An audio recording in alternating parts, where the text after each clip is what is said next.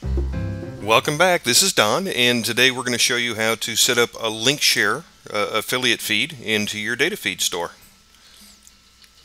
First thing you want to do is if you're not a member of LinkShare, you want to go ahead and join and uh, go to their website and pick some merchants. They have a merchants by category section where you can find merchants that you like that you want to add their products to your store. Then you're going to want to go to the data feed section now, if you're not a, a merchandiser, uh, which is what they call their data feed merchants, you're going to sign up as one. If you've done some business with them, it's free. If not, they charge you a little bit of money to get set up. And see their website for details. Once you've selected your uh, merchants and been approved by them, uh, grab your data feeds from LinkShare and then log into your uh, admin section and you can either access the LinkShare module through the Uploads tab or it's right there on the very front homepage.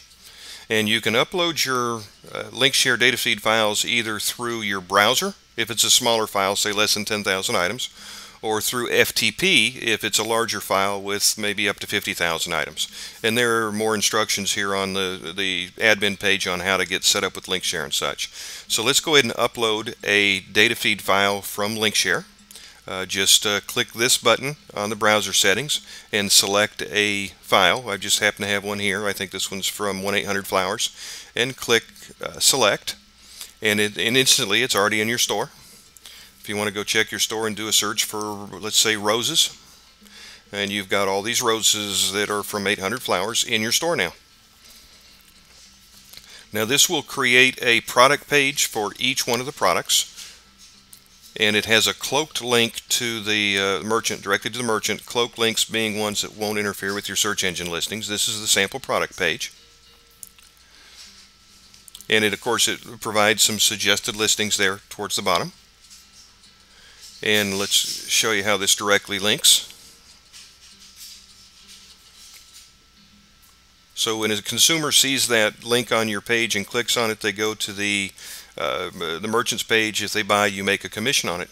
just that simple. Nothing to, to, you don't collect money, you don't ship anything. It's all handled by the merchant. So let's go ahead and do a FTP upload this time. Let's say you had a larger file or a whole series of files you didn't want to waste time with your browser. Uh, just upload them to your LinkShare folder in your admin section and they'll be listed right here. You can press the blue button to install the feed or the red button to discard the feed. We're going to go ahead and install one right now. And now those products are in your store.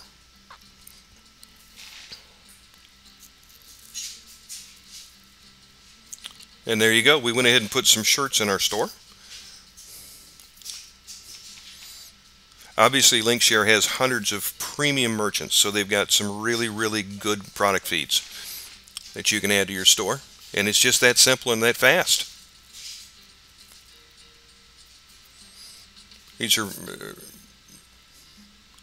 again, a cloak link uh, won't interfere with your search engine listings, and this took you right to the Paul Fredrick website where your uh, visitors can buy a shirt and you make a nice commission. In the next video, we're going to show you how to set up a, uh, a commission junction feed. It's very similar to uh, LinkShare, but we're going to walk you through it anyways. Go ahead and put your uh, preferred item title in here and that'll be your featured item on the front page. And there you go. That's all there is to it.